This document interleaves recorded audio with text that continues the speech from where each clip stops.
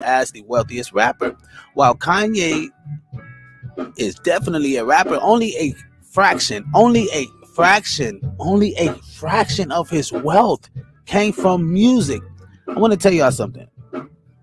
To y'all think, to y'all people out there think like, oh, I'm gonna make a gang of money in music. Oh, I'm gonna take the music game over. I'm gonna kill the music game over. Right? Y'all see how big Kanye West was, right? Y'all see how big he was, and look, look at his wealth, right?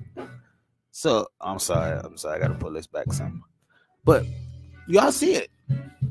Y'all see the wealth that he had, and a fraction, a fraction came from his music insider, just a little insider on the music industry. When people sample music, you have to pay publishing back to these original people. You may have to pay a lot of fucking money back. Like honestly, you will have to pay a lot of